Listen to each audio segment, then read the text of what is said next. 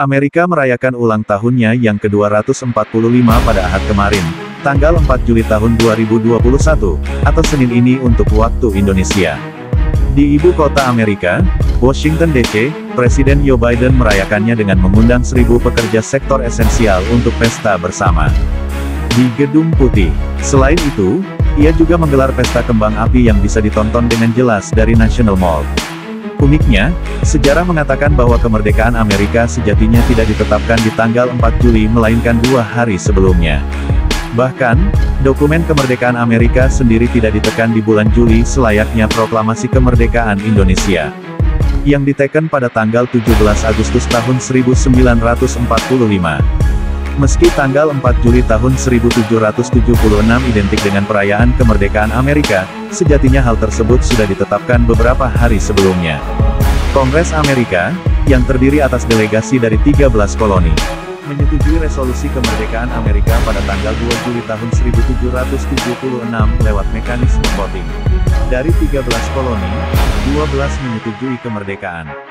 Mereka menemukan jalan untuk mengesampingkan perbedaan dan bersatu untuk tujuan yang sama, ujar sejarawan dari Museum Nasional Sejarah Amerika, Barbara Clark Smith, dikutip dari USA Today. Tanggal 4 Juli adalah tanggal hasil voting diadopsi. Itulah kenapa, hingga sekarang, tanggal 4 Juli lah yang dianggap sebagai hari kemerdekaan Amerika. Uniknya, deklarasi kemerdekaan Amerika baru diteken oleh anggota Kongres Amerika pada tanggal 2 Agustus tahun 1776. Meski resolusi kemerdekaan Amerika disepakati pada tanggal 2 Juli tahun 1776 dan adopsinya pada tanggal 4 Juli tahun 1776, selebrasinya tidak dirayakan di tahun tersebut. Perayaan Hari Kemerdekaan Amerika baru dilakukan tahun depannya, tanggal 4 Juli tahun 177 adalah Presiden John Adams yang menggelar selebrasi kemerdekaan Amerika pertama. Ia pun tidak melakukannya di Washington, melainkan di Philadelphia. Ia menjelaskannya dalam surat yang ia kirimikan ke putirnya. Dengan festival dan upacara untuk merayakannya, ujar Adams dalam suratnya.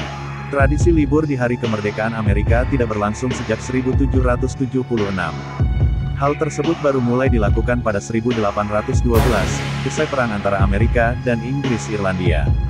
Perayaan itu pun belum menjadi libur nasional hingga setengah abad kemudian.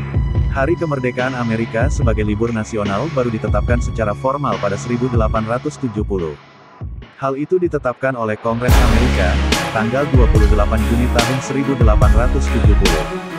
Deklarasi kemerdekaan Amerika ditulis oleh Thomas Jefferson. Ia tidak menyusunnya sendiri, tetapi dibantu anggota Kongres Amerika yang terdiri atas John Adams, Benjamin Franklin, Roger Sherman, dan Robert Livingston. Bersama, mereka membentuk komite gabungan yang tugas pokoknya merancang deklarasi kemerdekaan Amerika. Deklarasi kemerdekaan mengalami belasan kali perubahan hingga akhirnya diteken oleh 56 orang.